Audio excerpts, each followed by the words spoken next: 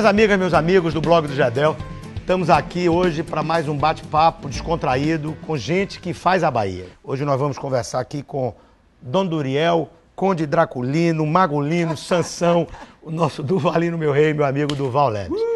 A quem eu agradeço inicialmente por ter aceito o nosso convite de participar aqui desse bate-papo no blog do Gedel.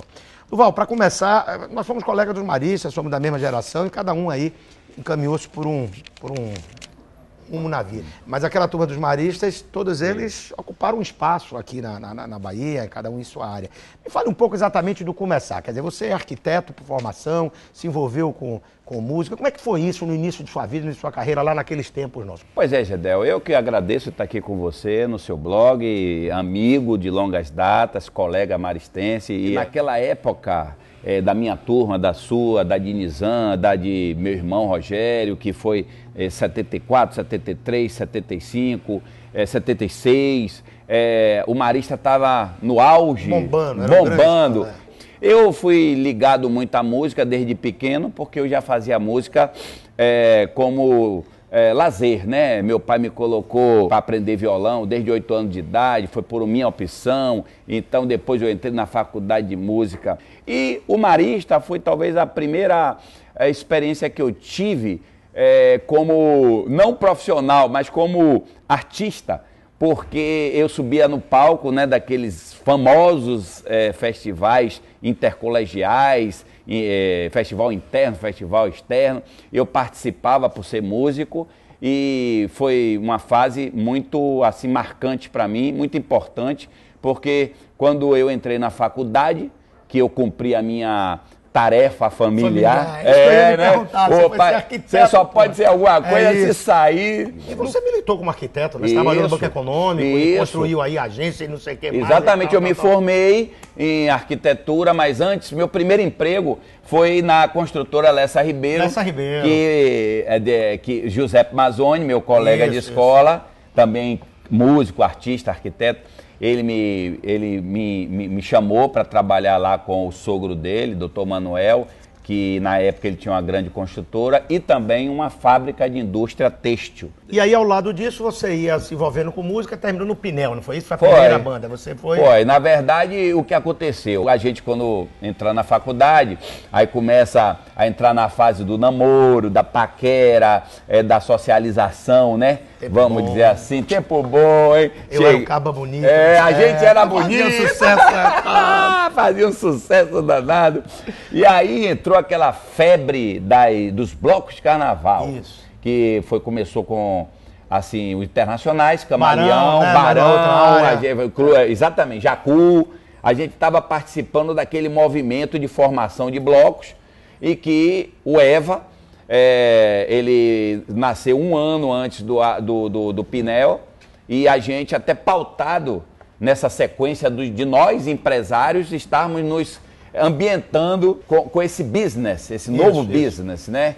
E o entretenimento. A Bahia é muito forte nisso. Então, foi uma época muito poderosa na Bahia, onde nasceram essas grandes potências carnavalescas que são os blocos de carnaval. E mostra como mudou tudo, né, Duval? Você está falando daquele tempo, a gente tinha um outro tipo de carnaval. Eu me lembro dos clubes aqui na Isso. Bahia, quer dizer, pelo menos para a classe média, o Baiano de Tênis, com a segunda-feira é. gorda, o domingo do iate Isso. e tal. Isso tudo deixou de existir. E, e aí a gente chegou nesse carnaval que está hoje. E hoje os clubes são os camarotes. Os camarotes. É, é os clubes é. itinerantes que eu é. chamo, né? Porque os clubes é, vieram para a avenida e se situaram nos seus lofts, né? Eu acho que o carnaval tem que ter de tudo. Tem que ter o povo de graça, tem que ter o bloco, que são os fãs do, dos artistas, e tem que ter os camarotes, que são as pessoas mais privilegiadas que não querem ir na rua. Eu acho que o, o carnaval, para ser democrático, ele oferecer alternativa para todo mundo. As opções. Mas eu vou entrar no carnaval. Mas antes disso, eu queria, estou vendo você com o violão aqui, eu queria voltar um pouco, certo. retomar lá o início. A gente estava falando aqui, só para que as pessoas entendam um hum. pouco disso, dos nossos festivais de música lá no, no, nos Maristas. Isso. E você deu duas palhinhas aqui. Você se lembra de um Aerobook Kid de, de, de, de Nizam? Aerobook Kid, venha me salvar. Aerobook Kid, venha me salvar. José Mazzoni, é me solta, me larga, ah, me deixa que eu quero sambar. Uh! A turma tá toda rodando, eu não posso parar. Grandes festivais. Hoje que eu posso sambar, você me bronqueia. Vê se me esquece, mulher. Amanhã é segunda-feira. Essa, essa era uma das poucas invejas que eu tinha na vida. Esses bichos feios para danar botavam violão, as meninas ficavam enlouquecidas e eu não canto nada, não toco nada. Ficava Mas você naquela ali, época ficava já um grande ali, administrador. Eu ficava só ali pro bar, só líder. pegando a sobra. Não, ele, ele, atuava na parte administrativa, líder dos, dos grêmios estudantis. É, com essa coisa aí, é. bola. mais uma última só pra gente A melhor para mim, melhor... doutor Nilo Leão é isso e aí. meu amigo Engole, João Engole Cobra, ó. Naquele tempo, se lembra, rodava sempre, caía seu quintal, seus braços, sorriso, lago, navega por todo lado. Se acaso me aperrearem, volto a te buscar. Ficava tom, se lembra um beijo, um ponto, tô pronto pra levantar. Se acaso me aperrear, se acaso me aperrearem, volto a te buscar. Se lembrar ao que o tempo não desfaz, ao que um dia após o outro sei se espero o passado sabe? Maravilha. Entre quatro paredes me calo saudades, o futuro parece distante. Agora caía no refrão, cansado. Corro no vento, quem dera a qualquer momento, não tem que passar primeiro. Espera meu pensamento, seu corpo em qualquer janeiro. Espera a primavera ou amanhecer de um dia. Ah, que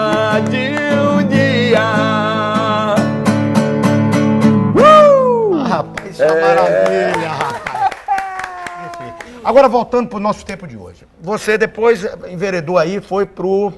Saiu do Pinel Asa de Águia. Que no início foi uma proposta meio rock and roll e foi. tal. Aí vocês foram foram para o Axé Music. Foi. Volta e meia, vem essa história que já está de novo da suposta decadência do Axé Music. Isso. Agora está de novo esse lero que o Axé está caindo, que Isso. o Axé está é, enjoando e tal. Como é que você vê esse movimento do Valdir? Eu acho que se a coisa enjoa uma hora, alguém vai lá, inventa alguma coisa e o negócio volta para moda. Entendeu? Já vi moda de rock, já vi moda de sertanejo, já vi moda de axé, já vi moda de lambada, de reggae. Moda é isso. O que faz vir a moda é você trabalhar alguma, alguma coisa que você eleve o produto para o conceito da divulgação. Então, é o que eu faço sempre no meu trabalho. Eu acho que as oscilações são, são eternas, né? O, o, nosso negócio vai, vai oscilar sempre. Mas dizer que o carnaval em si, ele nunca vai sair é, do conceito e do seu status mor que é um direito do povo. Mas e essa, e essa discussão também que, que permanentemente está imposta? Como é que você democratiza mais no sentido, é, leva a possibilidade de você levar as grandes atrações, o nome como você, para ir tocar no bairro, para fazer na Cidade Baixa um circuito? Ou isso é conversa de, de tempos em tempos, de época de eleição, de proposta de política? É viável você dar uma, uma, uma é, dada nesse carnaval? É, lógico, dizer, lógico. Esse modelo que está aí, você acha que é o bom modelo, que é o modelo certo? Ou o que é que podia aprimorar? Vamos, vamos falar o primeiro movimento, que é o mais original. É o movimento popular. Entendeu? Nós temos o carnaval popular, que é o, o carnaval tradição. É, o Rio de Janeiro agora resgatou isso. Isso. Tirou o quê? Começou Os trios da, elétricos da rua. Da rua. Jogou o quê no meio? As charangas. A bandinha, as, o chupa-catarro Esse tal, é o carnaval é. tradicional. E que é bom, é, bom, é, bom, é muito bom. Que é bom, que eu sou extremamente, vamos dizer assim, é, vamos, incentivador do fato. Quando nós fomos para o Carnaval Instituição, que foi a criação dos blocos de não sei o quê, a gente pegou esse material e incorporou dentro do carnaval público, que gerou uma grande divulgação mundial e que depois sufocou o carnaval do povo. O que é que cabe a nós, eh, vamos dizer assim, empresários? Saber dosar as suas apresentações, como por exemplo, se nós tivéssemos circuitos semi-privados, porque privados eles não vão ser nunca, porque não existe circuito privado com participação do povo. E não existe carnaval sem o povo. Então seriam festas privadas. Então, se você tem os, os circuitos semi-privados, como é o caso da Barra, porque a Barra tem camarote, a Barra tem o bloco e tem o povo na rua. Entendeu? Nós tivemos assim, ah, hoje a prefeitura faz licitações de, de é, áreas para fazer camarote.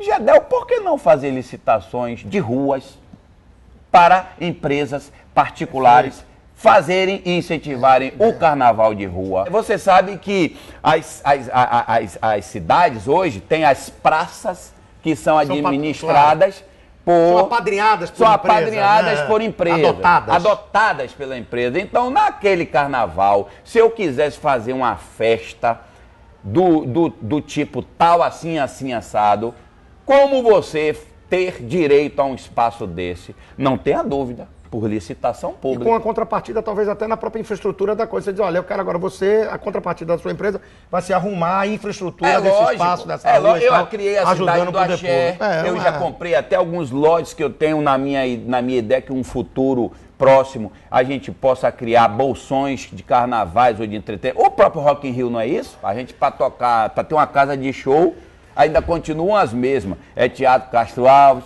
é, é, e meia dúzia aí de na Bahia tem opções. um momento, eu acho difícil. Exatamente. Sim, sim. Porque eu mesmo, se tivesse uma rua licitada, eu poderia fazer um carnaval e trazer, por exemplo, vou dar um exemplo, o Skank. São meus amigos. Duval, já caminhando aí para o final. Você, você, Salvador, eu pessoalmente tenho sempre a. É a terra que eu nasci, que nós nascemos, amo essa cidade. O que, que o arquiteto Duval Leles acha de Salvador e o que é que seria a grande prioridade para o arquiteto Duval Leles, hoje prefeito de Salvador, encaminhar como solução para a nossa cidade voltar a, a, a, ter o glamour que sempre teve, que eu acho que está meio, tá meio embaixo agora. Foi uma pergunta maravilhosa, porque recentemente eu estava até com Ivan Smachevix numa, no aniversário, e a gente está envolvido em algumas coisas aí recentemente, e a gente estava conversando sobre esse assunto. Eu acho que, primeiro, o sistema viário, porque é uma cidade muito arcaica, é a terceira maior cidade do, do Brasil, que não tem nem metrô.